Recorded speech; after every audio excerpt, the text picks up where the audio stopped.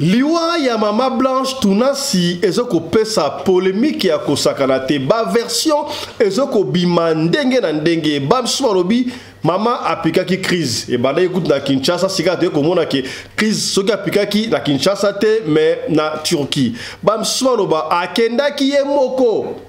kosala chirurgie esthétique ya ba partie intime on ne comprend pas misu balobi oui akendaka déjà asalaka yango aye kozonga mais azalaki na ba douleur na libumu finalement on ne comprend pas yaya yokana nu version ya moko moko tokodeveloppe awa bato ebele balobi version oyo mwasi ya pasteur tunasi akufi landa na ndeko oyo ndenge alobi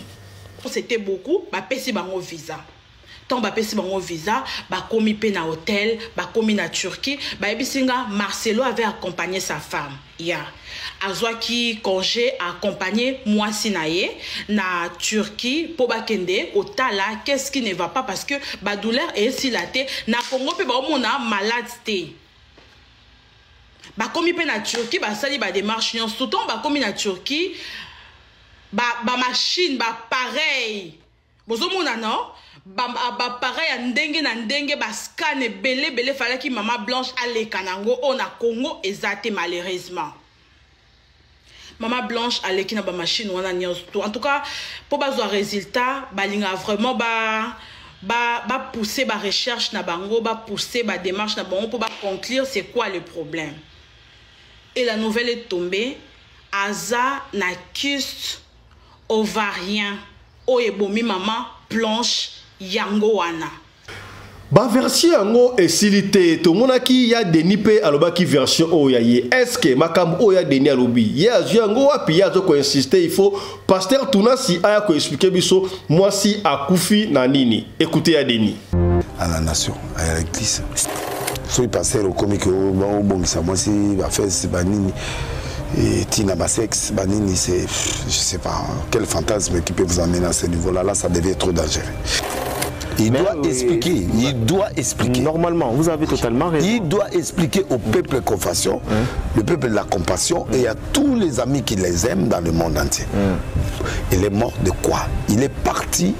en, Turquie. faire quoi le, problème, si c'était la chirurgie, ils doivent dire la vérité. Il n'y a pas de problème parce qu'il y a Kenaki, à Zongaki, puis Malo, Kenepo, à Sala, euh, côté où ce soit intime et qui est tourné en vinaigre. Mpo na evangeliste Roger Baka alobi or soki diable alie to abomi mwasi ya pasteur Tunasi mama Blanche c'est parce que kokumisa elekaki mingi mpo diable azalaka wana kaka mpo na kodevorer talent d'Achille ye moko abandaki kokumisa mwasi mingi ye moko alobaki yango soki diable alingi adetruire ye akodetruire ye par mwasi na ye est ce que makambo oyo Roger Baka alobi aza na raison to aza na tort esengalaki tokubisaka bamama te roger baka c'est le lieu de la vie c'est le lieu de la mort mpe bato bana nsima botire baleson arrêtez de présenter vos femmes parce que monde tobunda eza monde ya bitumba le diable rôde tout autour de nous il ne cherche pas qui tu es il cherche qui il va dévorer na lingala tolobaka balakisaka nganga na yo na miso ya bato te nganga so azotravaille match balakisaka ye te Il avait trop montré au diable hein, où se trouva son talon d'Achille. sikoyo soki ozwi mwasi opresente to mwana opresente olobi ke okokovivre te soki mwana wana aza te sache que tu viens de taler devant le diable de ta faiblesse so otuni pase esoni kafuta hmm? pasteur eloko nini na ministère etrouble yo koleka makambo nyonso koleka meme agronomie alain sona futa biso ezala mwasi bato ebele bakritike babomi balobi mabe mpo na paster tunasi kasi baoyo bakoteli ye bazali mpe ebele baoyo balobi ke non esengeli na ye mpe akumisaka mama ndenge wana lokola jeune fille oyo akumisi marcelo tia pasteur marcelo respect bozwa mpe bacapture d'écran nde tooloba boye pasteur marcelo image il faut ecirculer ayoka mpe qu'il y a des femmes sur internet qui saluent comment dire son, son, son amour envers sa femme qui aime qui apprécie bozwaka mpe baparti ya boye bokangikangi yango bobambi yango na internet esala ye mpe du bien amona te ke basi misusu batelemi na internet bazokritike ye kaka te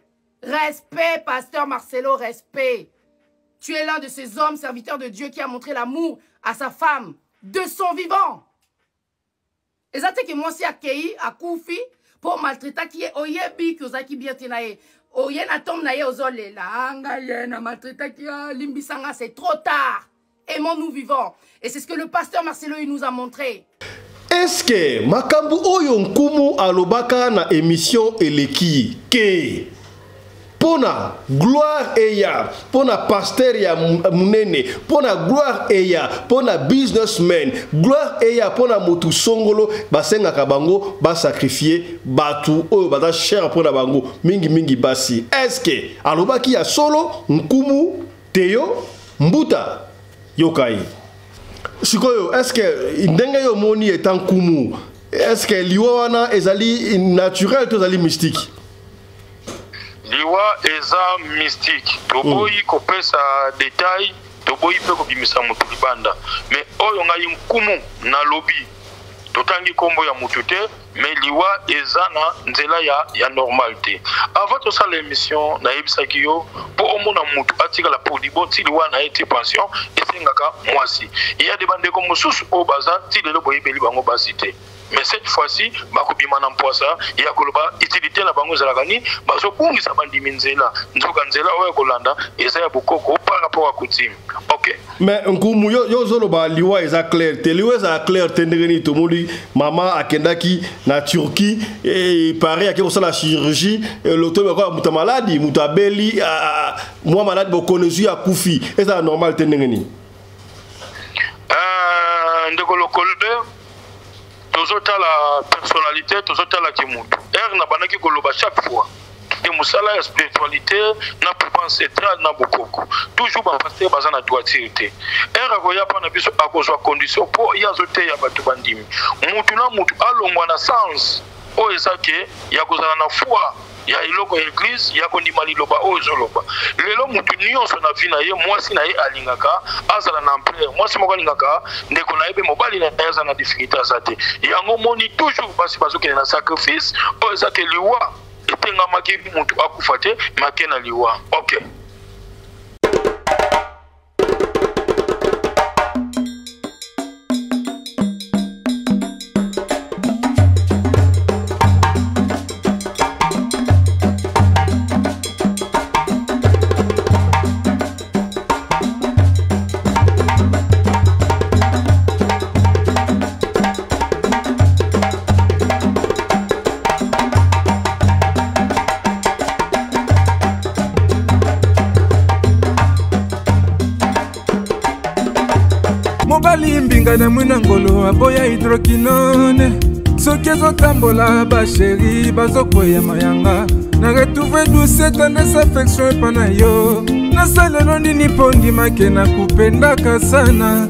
shitakwacha pelende wenjo mbote na bino bandeko balandi ya radio lokoe televizio bisika nyonso to bozwami merci na confiance mpe fidelité bozali kopesa na programme oyo radio lokole masolo epai wapi tokutanaka mpo na kobetaka masolo kosolola makambo ezali koleka bongo na communauté na biso africaine en général mingimingi ya biso bato ya mangala nkombo na ngai fiston pele nde tata ya sedeke dimanche elamu epai na bino eyenga elamu epai na bino bisika bozwami soki okei eglise merci okolanda biso na, redi, na rediffusion kasi soki ozali en direct na biso awa se prononce tika commentaire mpo na tosala yo mwa dédicace ya dimanche epesaka esengo mingi nkombo na ngai fiston pelende tata ya sedek ozolanda biso ozali na miami ozali na texas ozali na kuala lumpur esika nyonso tu ozali tala emission na bino yango oyo ebandi lelo tokosala spécial mpo na biso ezali kaka façon ya korendre hommage na liwa ya mama blanche tunasi mwasi ya, ya pasteur marcelo tunasi liwa na ye ezali lokola kake na matoi ya bato ebimi lokola mpe liwa kaka ya, eh, ya cardinal echou echau oyo akendaki ye moko kose faire soigner aye kozonga ebembe cardinal echau echou ya bayi katoliko kasi yango batuna nsi balobi wi akendaki ye moko kosala chirurgie esthétique baversion ebimi ebele bamosusu balobi no paster tunasi na mwana ya liboso nde aakompagnaki ye finalement on ne sait pas bobengi biso mingi papa fisto koma ozo koloba te makambo ya tunasi ozolokoba likolo likolo yaya avant toloba il faut to recueillir tozwa makambo parci pala to verifie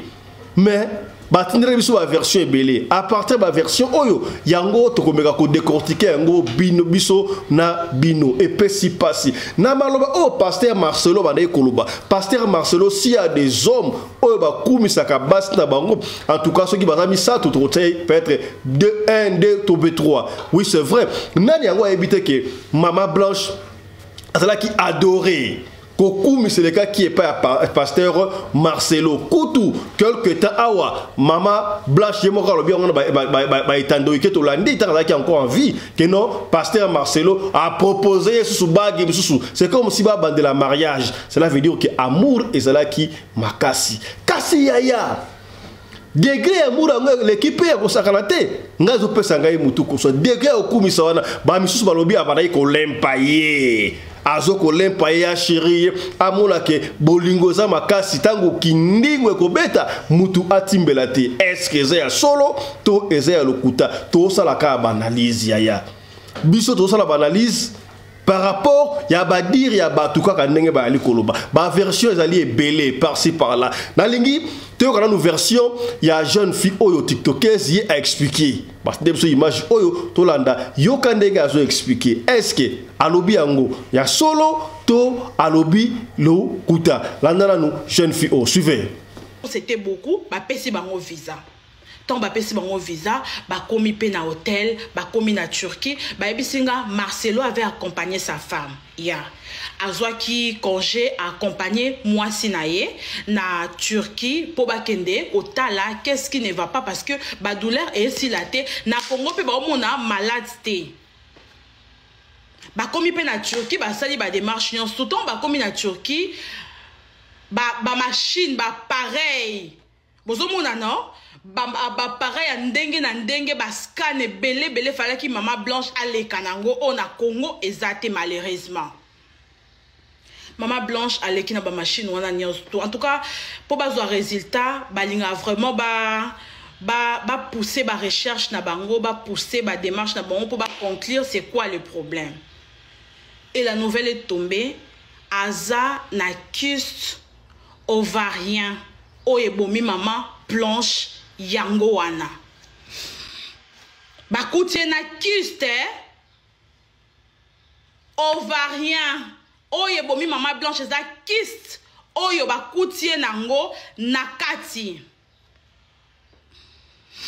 ntango basali baexamen na sikoyo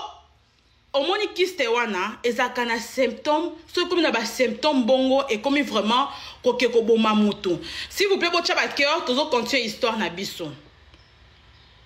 baye okute na kiste wana na kati ya nzoto bino bomonaka makambo nakosaka marcelo yo soki osambelaka nzambe na ndenge ya solo mpo moto apesi nga histoire na bino eza mutu na bino proche mutu ayeli nga parce que nga ntango makambo ebimi nayiki koloba ngo te mpo nayebaki yango te fo oyebisa biso raison fo oremercie nzambe no oyebisa biso raison oyo mwasi no akufi fo loba verité eloko ebomi eza kiste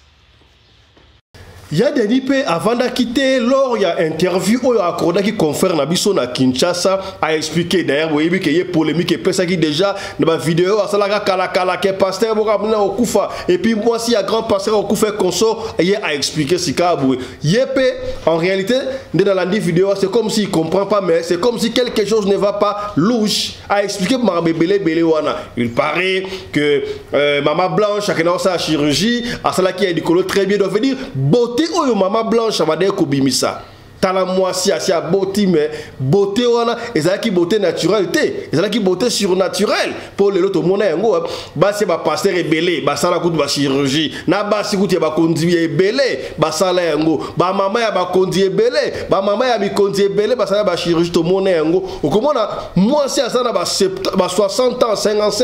aza kobimisa elongi ya jeune fille est ce que chirurgie yango ezalaka ya solo to ndenge nini ngai nayebi ata nkombo na yango te oyo yebi nkombo na basalaka wana komela biso yango na commentaire est ce que c'est vrai que mama blanche akendaki kosala chirurgie wana ndenge balobi asalaki yango très bien ntango azongi asalaki elongi pare ntango azongi akei asali sikoyo ya libumu nayebi te bakata bamico mpo bakata bamium nayebi te oyo oh, tolakisa bino balebele awa koma eske jeune fille akendaki badimne baparti intime so basima ekoso mais bakata ekataki yango akufa nayebi te soki esimbaka to esimbaka te il paraît je ne confirme pas wala kutu ya denis mpe alobi ya bokoka ya denis akendaki kuna basali yango mpe bien mai ntango azongi na kinshasa abaloka badouleur badouleur wana eza kosimba te badouleur eza kosila te oh. alors il était obligé ya kokende lisusu na turquie barevoir ntango bakei nde akufi mais moi je ne comprends pas il paraît ndenge baabi akufaki déjà mardi na ba 4 heures je crois akufaki mardi na ba 4 heures alors ntango Euh, pasteur marcelo na bala na on a jeune fille bakendaki yo ntango bamédecin bainforme bango il paraît que pasteur marcelo il n'en revenait pas aboya koloba bino abopeka na message wana te nakenda nanu kosambela asambeli asambeli asambeli asambeli apeka komona keno mama blanche n'était plus en vie est ce que eza kaka bachirurgie wana to apekaki crise yoka nanu version oyo ya denilesi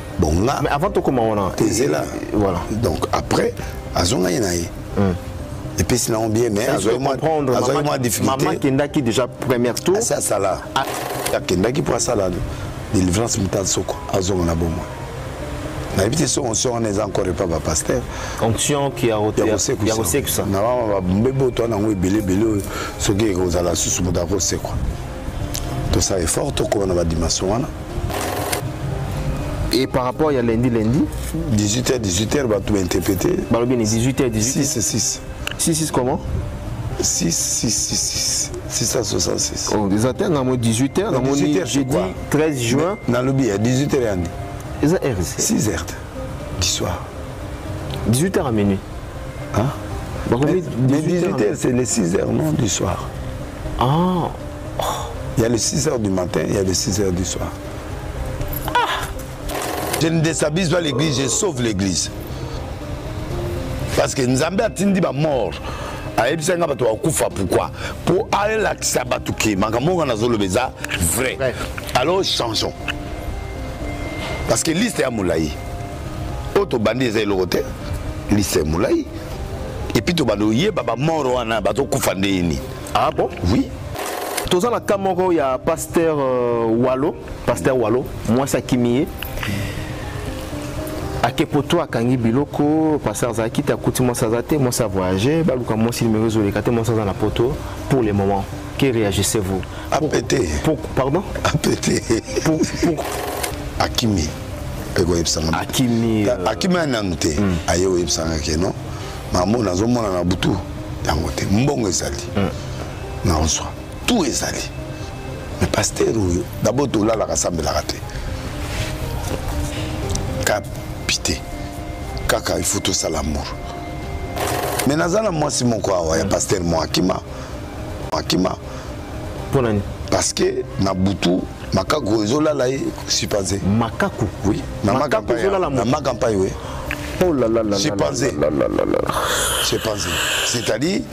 abala ye apaselana na mbongo mais sikoyo problème eza nini na butu so azosala mur na mobali na mobali ne pa amoni ka akomi nani oui. alors amakila partout na ntongo asombeli ata 15 bijou ya chere combat ya double stade de eh, marti eza incomparable eza incomparable fale aza na stade mati des jours yake tatalabato bamona mabe ndenge olobi ke fere agola akimi kombaakimi ti fale azela ye so asisi ndenge tomesana omoni ndenge ezalaki ti hmm. ta fale asali ye mpe aye ti yaya évangéliste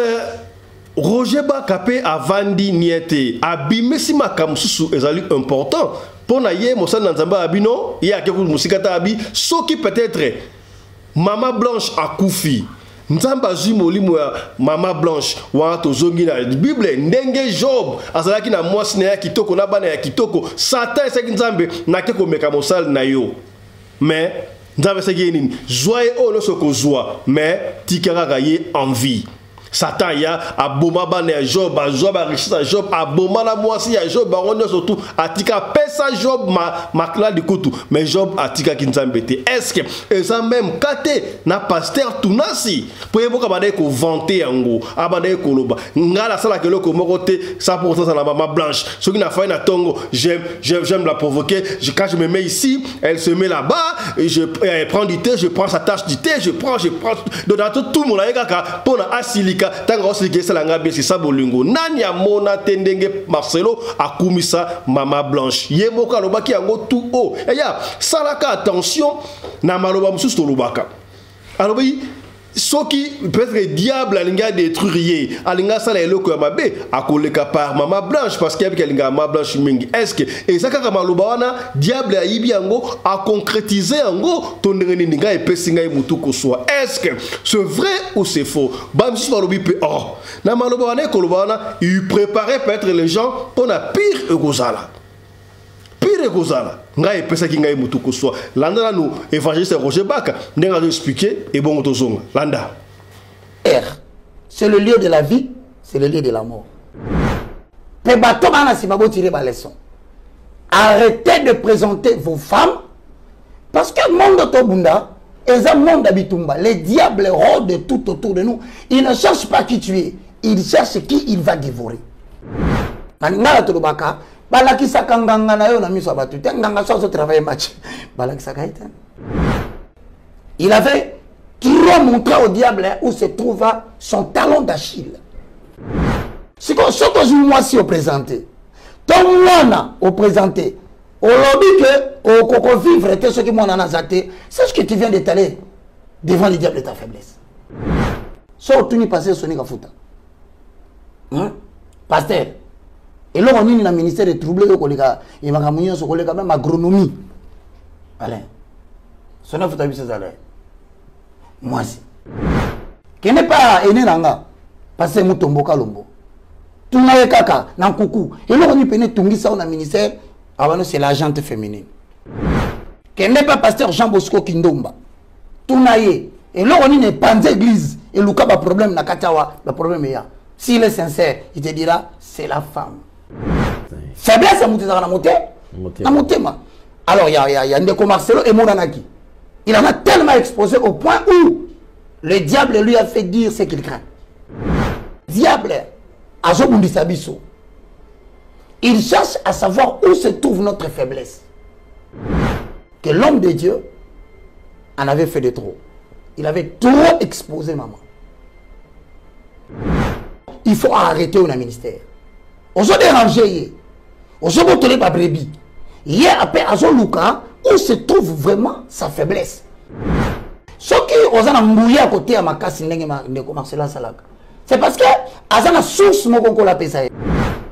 Parce que maintenant, il avait tellement exposé son trésor que le diable a dit oui, lokola Job, tokobotola ye kaka biloko oyo azolinga. mosala ozomona soki balobeli yo verité tolinga yango te epuis basi ya basali na nzambe bolukaka mingimingi te bozalaka na visibilité na kati ya eglize ozoka maloba na ye esali nga mpasi alobi atali na mbeto boye mama aza te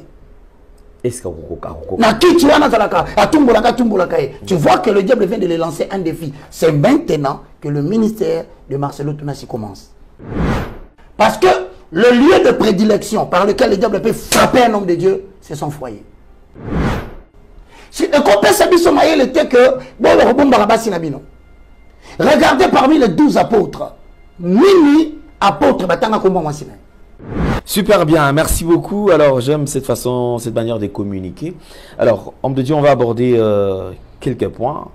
Comme d'habitude, touchons quand même euh,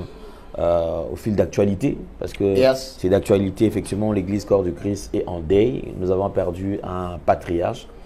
euh, papa, pasteur Barouti Kassongo Beka, Pierre qui est décédé. Quelques temps après également, il y a une servante de Dieu, épouse du pasteur Marcelo également, qui a rendu l'âme. Alors, nous présentons vraiment nos sincères condoléances. Et alors, ici, nous allons euh, toucher sur ce qui est posté, en fait. Je veux quelques une vidéo qui est devenue virale Bazo Bazo moi personnellement je me dis que c'est les vidéos ali parole d'adieu je me pose la question pourquoi c'était quoi la motivation les circonstances dans lesquelles l'homme de Dieu parlait de la disparition de sa femme alors on va quand même suivre cela avec beaucoup d'attention et on va revenir juste après pour commenter suivons je ne sais pas si tu as déjà perdu quelqu'un que tu aimes beaucoup vous savez, des fois, les gens qui perdent leur femme, je me dis, ils vivent comment Moi et Blanche, chaque matin, je m'assieds toujours ici et elle toujours ici à ma gauche chaque matin elle est toujours là et tout le temps j'aime prendre sa tasse j'aime déranger quand elle mange na kap nazoi lipa na ye nazwa biloko na ye kaka aloba kaka esepelisa nga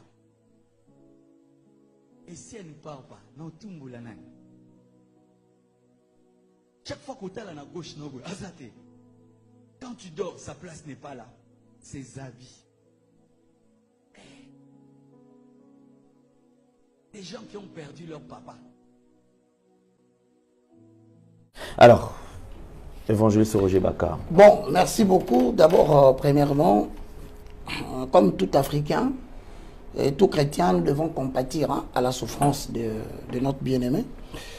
Normalement, euh, je m'étais décidé de ne pas intervenir sur ce dossier.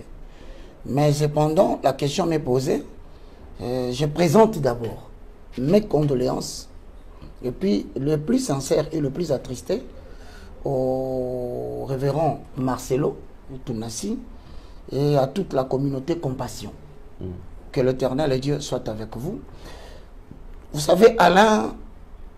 euh, dans des questions délicates, telles que celle de ce que nous venons de suivre sur le propos de, du révérend Marcelo, je voudrais que nous avons à l'écriture. Hein, ça nous permettra. Nous ne pouvons rien commenter au sujet de cette mort parce qu'il traverse un moment très pénible. Moi, je me rappelle après la mort euh, Alain et à Maman Bissau. hein mm. nasala une année bato so balanda ngai bien nasala une année nakoka koteya te parce que je me disais moi ah j'aime beaucoup ma mère ah mokolo mama akozala te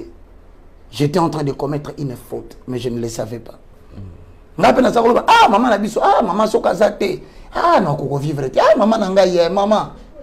et pourtant naza moto akendaki bokila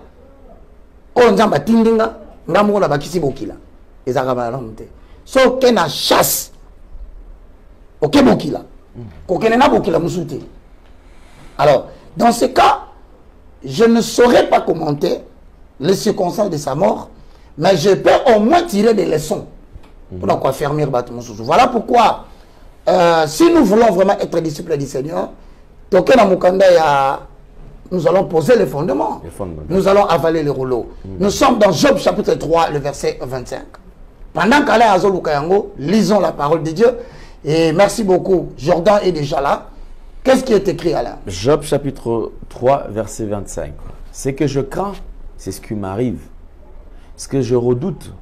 c'est ce qui m'attend alors so tangi yango na, na lingala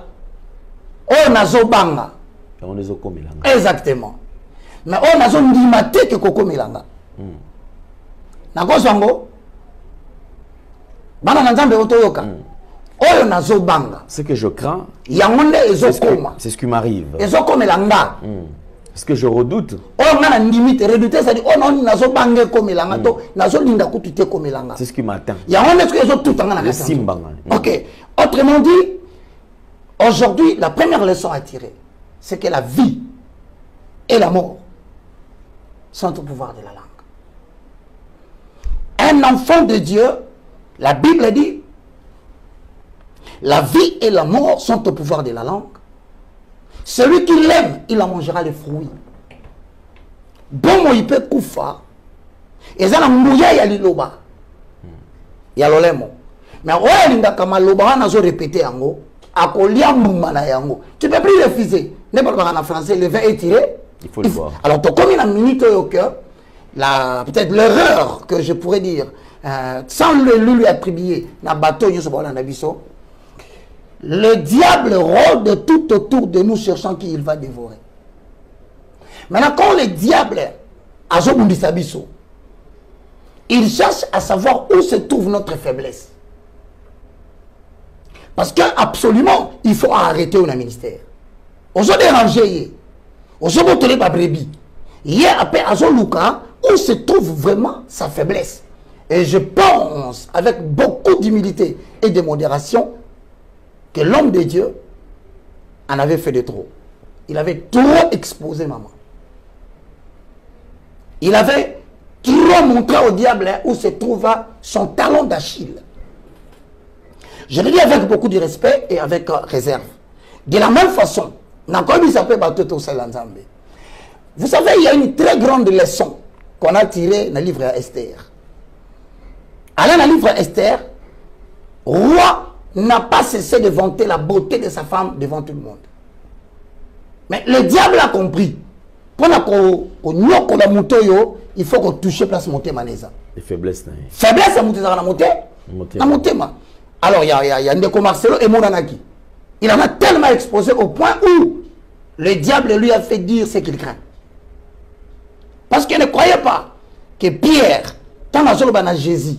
ke nkolo koya susu na mboka wana te baluka baboma yo jésus agangeli ye alobi ne hors de moi satan abengana demon te jésus abengana satan na nzoto ya petelo parceke yo nani soki oza vigilant te na maloba on risque satan alobela yo te donc ça veut dire en d'autres termes omoni cher c'est le lieu de la vie c'est le lieu de la mort yango mpe na ntango ya kala basacrificateur banda okotanga baclochette clochette simba ebandi ti libanda so okoti na kati ya lelo sando san eke soki okotaki de manière impure okokwea kuna okokufa kuna la chair c'est un endroit nazokamwa lelo hein? ekomi moto avandi na chair avandi obeta masolo ya bana na ye masolo ya mwasi na ye masolo ya libota na ye nonnonono balobaka ata bato 1000 baza contre yo mekomona ata une ou deux personnes bakozala pour yo mama oyo excusez moi alobi mais pourquoi est-ce que bato ebele bazali kokondane kaka paster marcelo keno abandaki kokumisa mwasi na ye yango diable abeti ye fimbu abandaki kokumisa mwasi na ye peut-être diable mpe akutanaki na na nzambe susu ya bino nake komeka mosali na yo zwa ye nyonso kotika zwa ye mwasi na ye mpo ata soki bondimi kondima ya paster marcelo ekozala kaka paster marcelo tunasi force à toi ba homme de dieu nyonso tout ya monde entier baza derrière yo force à toi pasteur marcelo zala na kimia oyo eleki ekomi nzambe aza na contrôle mwana mwasi oyo avante mpe pasteur marcelo ndenge abandaki kokumisa bamama landa na ndenge azoloba ebongo tozonga pasteur marcelo respect bozwaka mpe bacapture d'écran nde tooloba boye pasteur marcelo image il faut ecirculer ayoka mpe qu'il y a des femmes sur internet qui salue comment dire son, son, son amour envers sa femme qui aime qui apprécie bozwaka mpe baparti ya boye bokangikangi yango bobambi yango na internet esala ye mpe du bien amona te ke basi misusu batelemi na internet bazokritike ye kaka te respect pasteur marcelo respect tu es l'un de ces hommes serviteurs de dieu qui a montré l'amour à sa femme de son vivant eza te ke mwasi akei akufi mpo maltraitaki ye oyebi ke ozalaki bien te na ye oye na tombe na ye ozolela ah, ngai ye na maltraitaki ah, limbisa nga c'est trop tard aimons nous vivants et c'est ce que le pasteur marcelo il nous a montré eloko tobanda oregrete eza baprédication na ye oyo akotisaka bolingo mpo na mama blanche yo balinga oyo botala basi misusu bazokota baza mal aime tomonaka place te mobali alulaka bino mobali ajetaka yo bafleur boye elle est belle ma femme quand on a rencontré maman blanche quand j'ai rencontré maman blanche on s'est séparé au moins cinq fois je disais est-ce qu'elle elle peut être dans le ministère mwasi ya boye e eh, hey, canon adi ah, yo balula yo yo yo ya baloba yo ah non pasteur marcelo dechir l'amour oyo bacongolaise balingaka yango oyo oyo pasteur marcelo alakisi biso ebele bazwaka bachicote liboso ya bato ebele babeta ebele bahumilia bango liboso ya bato mais pasteur marcelo pasteur oyo nazalaki omona ah il est trop dur mais ndenge akomaka mpona mwasi moi c'est un bébé Vous imaginez comment elle était quand je l'ai rencontrée. Déjà, elle est canon là. Elle a des enfants. Bon, comment elle était au début il va là-bas, on l'invite là-bas dans un pays à faire prédication. J'ai voyagé avec ma femme, hein. on n'a pas voyagé en même temps, mais elle, ils ont prédication. Yo kaka femme, femme, femme. Eh,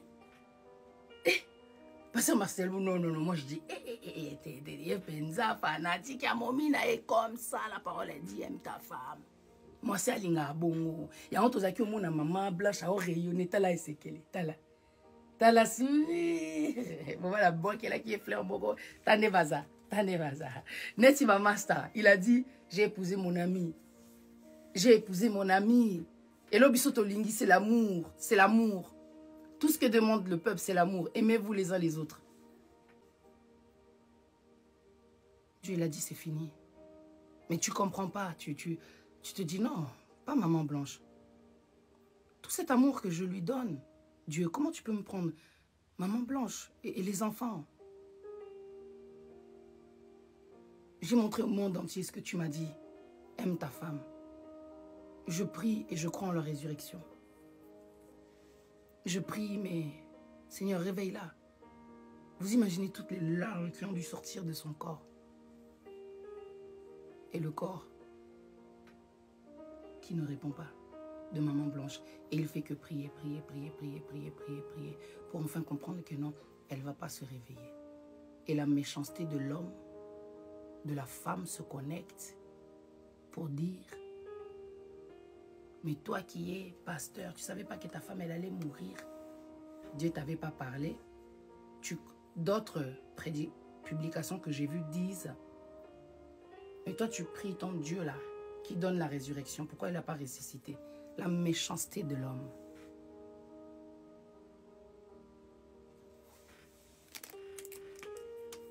de toute façon, comme il est là, elle a dit de toute façon, comme il est là, Tu es déjà, quand Mais comment tu peux montrer autant d'insensibilité Est-ce que qui te pose la question de toutes ces choses que tu viens de dire, non, comprends Qui t'anime Quel est l'esprit qui est derrière pour dire ce genre de choses Tu savais pas que ta femme, elle allait mourir Mais qui vous a dit que le pasteur qui vous a dit que parce qu'un homme croit en Dieu,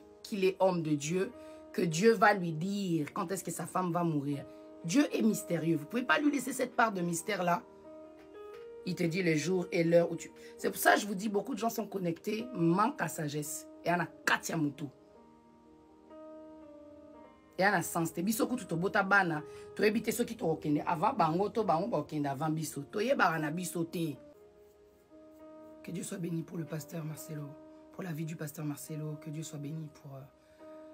la vie de Maman Blanche. Ils nous ont montré l'amour, quoi, c'est beau. Ah, années, moi, si mon sou, est-ce que c'est le temps de parler de ça Tu penses qu'on est des bébêtes Bah, vitesse, le col à moi, mon qui Tu penses que tu as évité que Ndengazaboy, moi si mon sous, ouvili, tu es bien goté Mtoa Koufi, le droit, ça la vie, non mais tu penses vraiment qu'il pourra retrouver une femme comme ça Et je ne vous parle pas de la beauté, qui était disposée comme elle était. Elle, elle disait sa mission, c'est de faire en sorte que son homme, en tout cas, aille loin. Une aide semblable. elo sikoyo liwa ya mama blanche et zoté à Zanine. aimez-vous vivant homme aime ta femme femme soyez soumise parce que tu pouvais voir qu'elle était soumise d'une douceur d'un état d'esprit aza mpe cool osentir kaka ke bakutana vraiment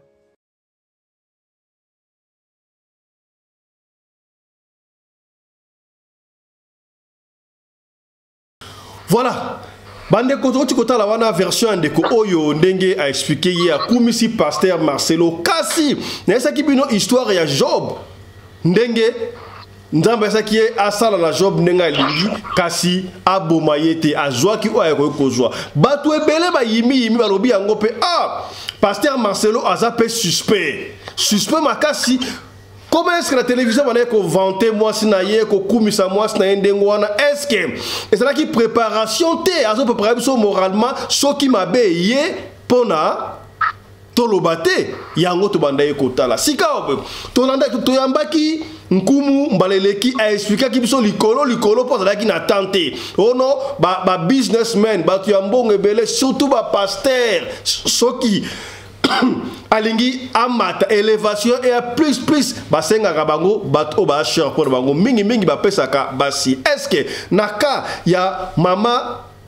blanche tunasi oyo akufi yaya eza kaka banaliste osala nake kokundela bino lisusu kumu mbuta teyo azonga awa mpo obengaki biso ebele zongisa nkumu explike makambo wana eza ndenge nini eske liwa ya mama blanche ezali ya solo to ezali ya molili yango tobengi yesu lelo akoexplike biso yango noir sur blanc lelo aza na temps 15 minutes oyo avant akota makambo na ye tokosola makambo oyo ya mwasi ya pasteur tunasi na makambo mpe ya bapasteur nayambi mpo na bino nkumu mbuta teyo nkumu mbuta teyo mbote na yo merci ndeko lokole na pouvoir nyonso ya mfumu kimbangu ya pouvoir ancestral naza ma très bien malamu nazoyamba yo mpo naboyi kodecevoir bandeko babengaki mingi mm. par rapport naza na cas d'urgence ya moto azobela mai nasengi ma bolimbisi 15 minutes kaka opesa ngai mpona nakoka korepondre yo rapidement lelo bandeko na banza heure touti kosala émission heure nayebisi bino ke ozwaki nga ligne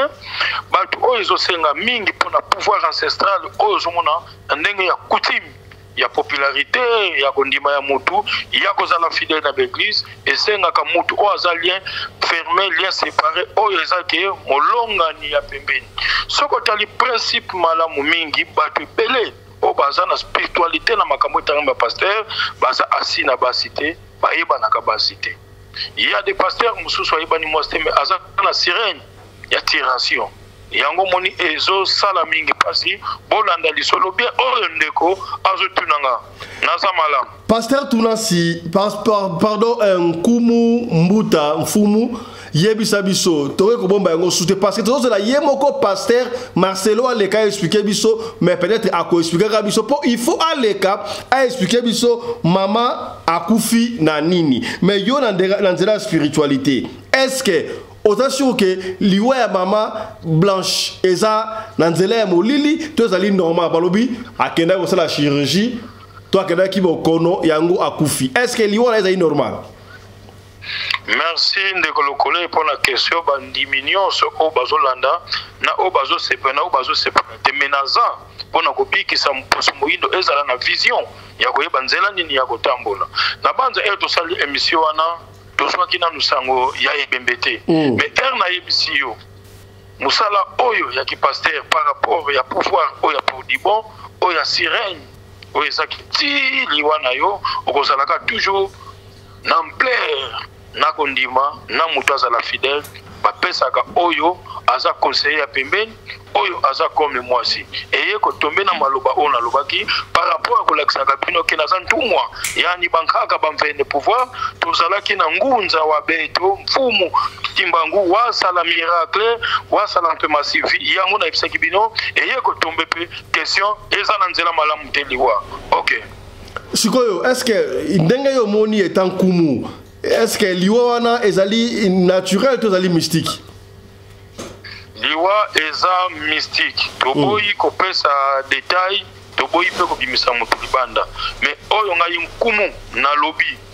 totangi nkombo ya motu te me liwa eza na nzela ya, ya normal te avant tosala émission nayebisaki yo mpo omona motu atikala mpo libo ti liwa na ye ti pension esengaka mwasi eya de bandeko mosusu oyo baza ti lelo boyebeli bango basi te mais cette fois-ci bakobima na mpwasa ya koloba utilité na bango ezalaka nini bazobungisa bandimi nzela nzoka nzela oyo ya kolanda eza ya bokoko par rapport ya coutume ok mais nkumu yo, yo ozoloba liwa eza claire te liwa ezala claire te ndenge nini tomoni mama akendaki na turquie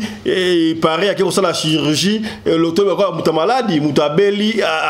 mwa maladi bokonezwi akufi ezala normal te ndenge nini euh, ndeko lokole tozotala personnalité tozotala kimuntu heure nabandaki koloba chaque fois de mosala ya spiritualité na pouvoir ancestral na bokoko toujours bapaster baza na droitire te ere akoya mpo na biso akozwa condition mpo ye azoteya bato bandimi mutu na mutu alongwa na sens oyo eza ke ya kozala na foi ya eloko ya eglise ya kondima liloba oyo ozoloba lelo motu nyonso na vi na ye mwasi na ye alingaka azala na ampleur mwasi moko alingaka ndeko na ye mpe mobali na ye aza na difficulté aza te yango omoni toujours basi bazokende na sacrifice oyo eza te liwa etengamaki motu akufa te make na liwa ok ah sikoyo nga orepondre biso malamu pena pena te sikoyo ye bon otongi ba nini mama blanche a été sacrifié sacrifié yango ndenge nini mpo motu akei abeli eh, akufi sacrifice eyaki na niveau nini merci oyo eza na bandimi na bato bazoyoka bokotala sikoyo entre entre différence ya esika azalaki na différence na esika azokoma okomona yango ekopesa moto mosusu aza na leson ya koyeba eloko nini oyo euti kosalama mpo tozomeka kozala na mwa reserve par rapport tosi mpe bakuya telefone oyo eza ke okoka kokende na droiture ya koyebisa yango popularité ya, ya bato te donc oyo nalobi ke oyo aza na vision ameka kotala place oyo bazalaki na place oyo bazokoma yango ekoteya motu naboyi koloba yango na tele mais cette fois-ci ekobima ok donc veut dire que olingo yesa biso euh, euh, euh, euh, bato basali ku wana basi bayebaki jour na date oyo euh, likama ekokoma parce que bato balobi pasteur marcelo abandaki kokumisa mwasi na ye mingi oza sur ke baeloge oyo abandaki kopesa wana ezalaki préparation eh, mpo na biso na, ma, na, ma, na, na sango ya mabe boye merci ndeko lokole na kopesa yo sagesse moko ya kocomprendre likambo lelo ata moto alinga kufa na mai mm. azalaka mingi na esengo na esengo wana yango ekendeke na mawa par rapport ya kodrible bato ya kodrible bandimi yade bato mosusu bazotya tembe eza liwa wi moto nyonso aza na liwa ya kokufa mais kokufa fo kufa avec condition oyo moto fo akufa comment c'est possible okokende nango en ligne attention soki si c'est possible sikoyo nalingi nabimisa po oyo toitire nazoloba toujours bapasteur eza commerce na margoulage lelo bandimi nyonso kozala na mwa connaissance ya koyeba kati ya nzela ere moto azomona yango mabe toza poso moyini tokobunga nzela te toza na nzela oyo emonisa biso ya clexima ya kolanda ndeko lokole bokomona place oyo azalaki na place oyo azokoma mpo oyo akei aza element oyo akosala popularité oyo akosilisa na eloko bokoka kosilisa te soit disant eza monument soit disant eza église soit disant eza un cimetière ok bon mpo na tomona ke peut-être soki liwa wana ezali ya, ya, ya, ya nzambe te eh, pesa biso basine bamikolo ya suka bamikolo ya nsima oyo ekoya moto oyo eh, eh, eh, nde tolobaka na lingala alekisi mwasi na ye to asali mabe tokomona basine nini parce que mbongo paster aza deja na mbongo vie aza deja na vie basine tokomona ke ye ke mwasi na ngai elekaki ye sikoyo azwi elevation merci soki lelo moto azalaka na 5000 personnes hmm. lobi bokomona akomi na 7000 mpe akomi na 8000 amati mpe akiti amati ok basini ekolakisa nango bokomona mpe faiblesse na ye na komata na ye ekofunda bato ok Et voilà, euh, mais il y a une chose qu'on kumu. yo oankadaka 73 paster ndenge olobaka wana eloko nini oyo bapaster basalaka biso na église oyo il faut odénonce sikabu parce que obi tu en a marre bakoko bayebisi yo il faut odénonce moto afasamba na église il faut ayeba merci ndeko lokolo na banza toza na minute ya moke totikali presque na 7 minutes bien mpe 6 minutes mm. lelo moto nyonso erasa adere akoti na pouvoir ancestral ya bokoko na pouvoir oyo tobengaka kingunza kinsamusunu awonzo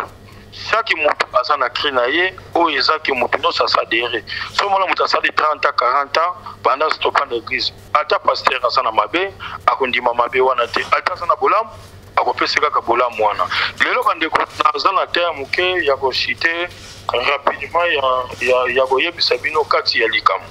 lelo bozala bandeko bozwa na numero mpo bozotungisaka ndeko lokole mingi plus 243 89 44 54 885 plus 243 98 17 17 0 13 nakoyebisa bino lelo oyo ezosaka mpasi totika kobomba nzela ok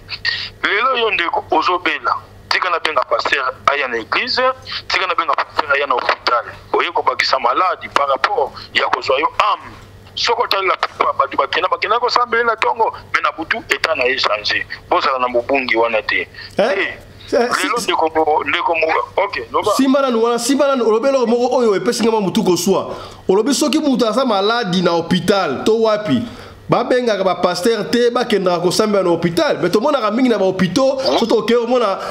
baintercesseur balekaka yo toye kosambela mpo na moto intel toye kosambela mpo na moto intel eza mabe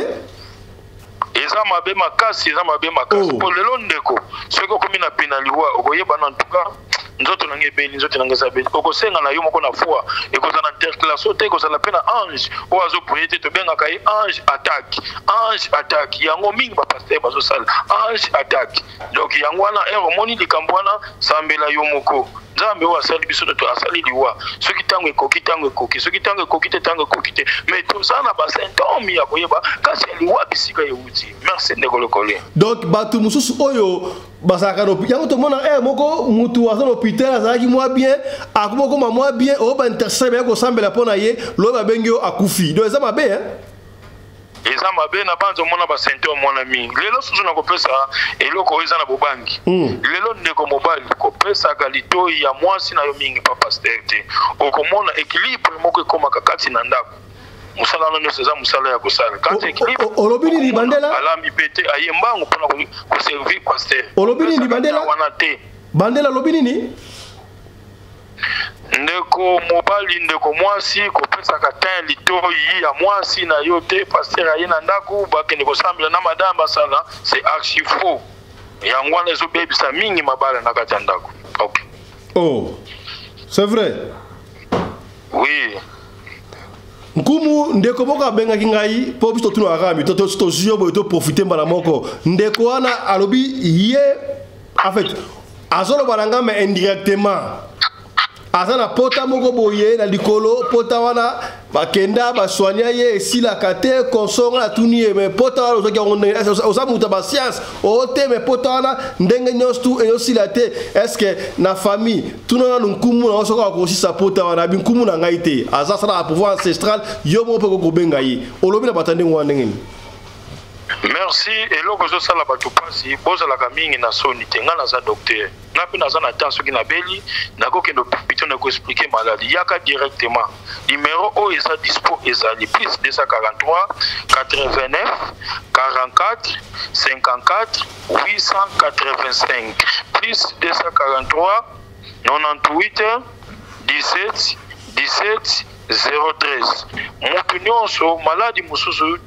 tozoloba yango te na, na kati ya émission mais soit disant soki ozwami problème tuna nga soki naza na capacité eloko wana nakondima yango soki naza na capacité na yango te nakozwa yango en charge te ya, ya kosala kati ya, ya eloko wana ndeko lokole bazala na kondima heure bozozwa nga mpo boza na batémoignage oyo mosusu bazalaki basali ba 10 ans ba 17 ans bango wana bakomi na mwana mwana ya pembeni azalaka te ozwami problème wana ya mwasi na ndako azoderange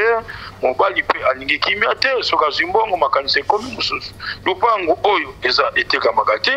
oyo boza na dosie na leta esilaka te babotola yo lopango c'est ça ozomona lelo makambo ya mbongo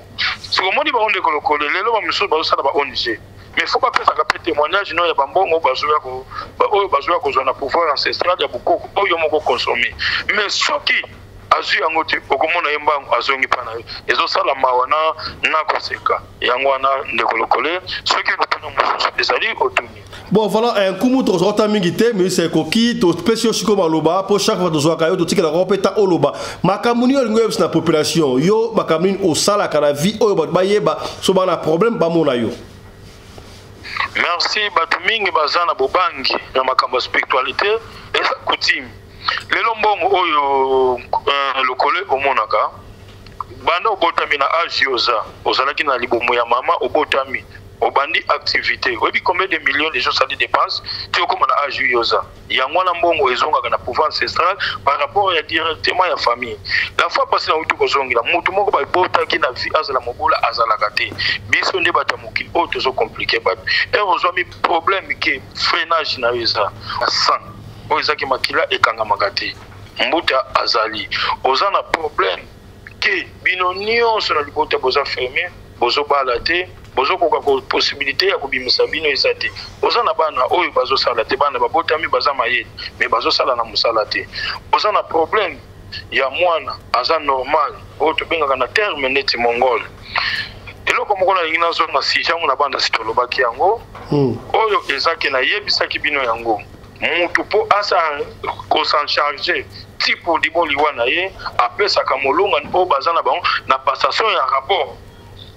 oyo ezami soki otali paster nyonso akufela mwasi oyo oyebi ke mwasi liboso abota na ye bana nalobaki ngo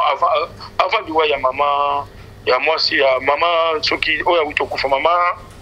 mama blanche mama blanche ok oh. mama blanche nalobaki yango après deux heures du temps trois heures toye koyoka suite wana bozalaka na kondima na nga ngai mpe naza nzambe te me nazosalisa oyo aza na tembe na yango mpe oyo alingi acontredire na yango lelo botika kopesa matoi na bino mpo bapaster paster batika kopekisa bino nzela oyo eza ya pouvoir ancestral ya bokoko bango bazosalela ange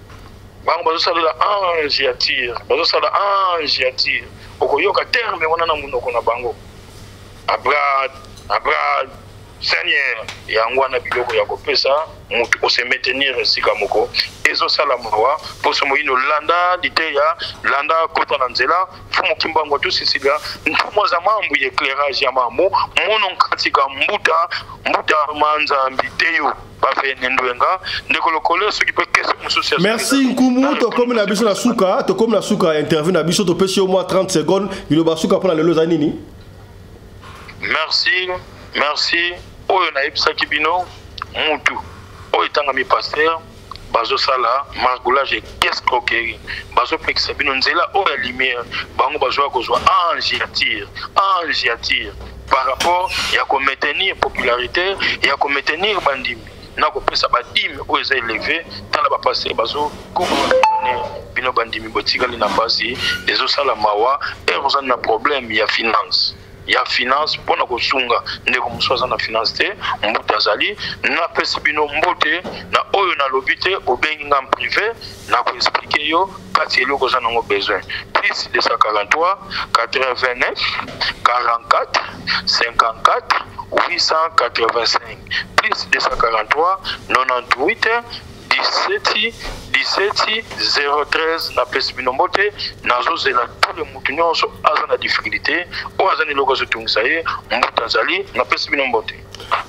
Merci beaucoup, mesdames, messieurs. C'est avec ça que nous bouclons cette émission, mesdames, messieurs.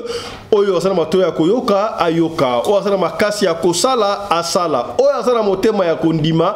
andima je crois baanalyse sur décès ya mama blanche tuna sitokobanda kosalaka yango ti Pasteur Marcelo ye moko akoleka aloba officiellement qu'est-ce qui est arrivé na mama euh, Blanche Tunasi oyo atuki motema ya bato bato balingaki ye mingi mais disparition na ye il faut quand même explication mpona toyeba allez